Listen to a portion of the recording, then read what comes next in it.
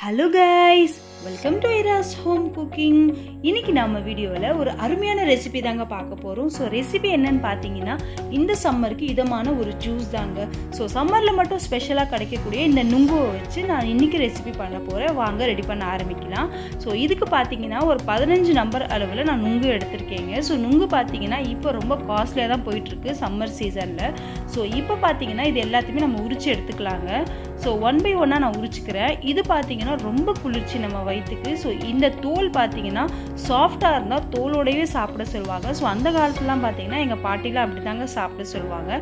So இல்லைனா இதை paste ஆக்கி நம்ம ஃபேஸ் பேக் கூட போடலாம். இல்லைனா அந்த தோலையே அப்படியே நல்லா வந்து ஸ்கின்ல தேய்ச்சி எடுத்தால் ஸோ அவ்வளோ நல்லதுங்க. இப்போ பாருங்கள் நான் எல்லாமே வந்து உரிச்சு எடுத்துக்கிறேன். இந்த நுங்கு எல்லாமே.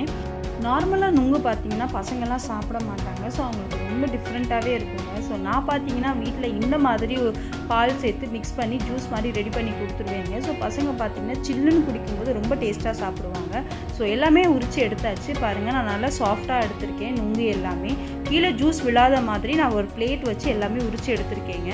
ஸோ இப்போ நம்ம இதை கட் பண்ணிக்கலாம் கத்தியை வச்சு.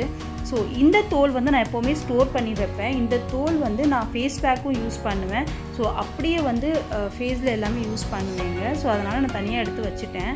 இப்போ பார்த்தீங்கன்னா நான் எல்லாத்தையும் வந்து கட் பண்ணிக்கிறேன். இதை வந்து பொடிசாக கட் பண்ணி கூட நீங்கள் பாலில் மிக்ஸ் பண்ணி சாப்பிட்லாம். இல்லைனா நன்னாரி ஜூஸில் லெமன் ஆட் பண்ணி கூட நீங்கள் சாப்பிட்லாங்க. ஸோ இப்போ நான் இதை மிக்சியில் அரைச்சி ஒரு ஜூஸ் மாதிரி ரெடி பண்ணிக்க போகிறேன் ஸோ மிக்சியில் பார்த்தீங்கன்னா நான் எல்லாத்தையும் சேர்த்துக்கிட்டேங்க. நுங்கு எல்லாத்தையும். ஸோ இப்போ நம்ம இதில் சுகர் சேர்த்துக்கலாம்? நான் சுகர் பார்த்தீங்கன்னா ஒரு நாலுலேருந்து அஞ்சு டீஸ்பூன் அளவுக்கு நான் தாராளமாக சேர்த்துக்கிட்டேங்க.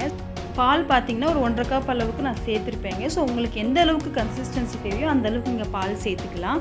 இப்போ நான் இதை வந்து மிக்சி ஜாரில் அரைச்சி எடுக்க போகிறேன் ஸோ ரொம்ப சிம்பிள் தாங்க. ஜஸ்ட் வந்து பாலில் மிக்ஸ் பண்ணி நம்ம வந்து ஜூஸ் ஆக்கி குடிக்க போகிறோம் ஸோ அவ்வளோதான் இதில் பார்த்தீங்கன்னா நீங்கள் சப்ஜா ஆட் பண்ணலாம். நன்னாரியில் சப்ஜா ஆட் பண்ணி லெமன் ஆட் பண்ணி குடிக்கலாம்.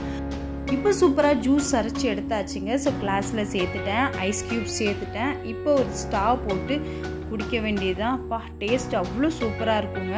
ஸோ நுங்கு பார்த்தீங்கன்னா ஹெல்த்துக்கும் ரொம்ப நல்லது. ஸோ உங்கள் சுகர் பார்த்தீங்கன்னா நீங்கள் சுகருக்கு பதிலாக நாட்டு சக்கரை கூட ஆட் பண்ணி குடிக்கலாம்.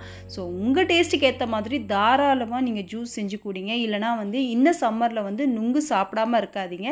ஸோ வெறும் உரிச்சு கூட சாப்பிடுங்க. ஸோ இந்த நுங்கு பார்த்தீங்கன்னா ரொம்ப நல்லதுங்க நம்ம உடம்புக்கு. அதோட இதில் இருக்கிற ஹெல்த் பெனிஃபிட் ரொம்ப ஜாஸ்தி. இந்த ரெசிபியை நீங்கள் மறக்காமல் ட்ரை பண்ணி பார்த்துட்டு எப்படி இருந்ததுன்றது எனக்கு மறக்காமல் கமெண்ட் பண்ணுங்கள் ஸோ இந்த வீடியோ பிடிச்சிருந்தா லைக் பண்ணுங்கள் ஷேர் பண்ணுங்கள் மறக்காமல் என்னோடய சேனல் பற்றின ஃபீட்பேக்கை எனக்கு கமெண்ட் பண்ணுங்கள் இதே மாதிரி இன்னொரு ஹெல்த்தியான ரெசிபியோட உங்களை நெக்ஸ்ட் வீடியோவில் மீட் பண்ணுறேன் ஸோ அது வரைக்கும் பாய்